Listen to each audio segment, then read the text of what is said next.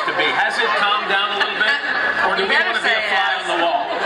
And there's there's some crazy tour buses, but there's also some family tour buses as well. So you know, uh, Howie has his wife and his son out on the road. Uh, my wife and my son are out on the road. So you know, you have your family buses, and then you have you know some of the single guys. But we won't we won't talk about that. Speaking of family, Joey, a new addition to your family.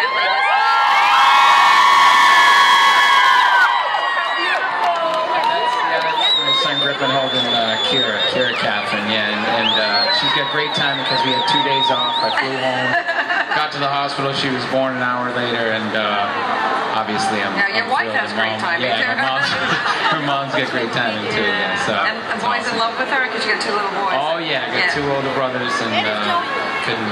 I, I miss her, but other than that, it's it's awesome.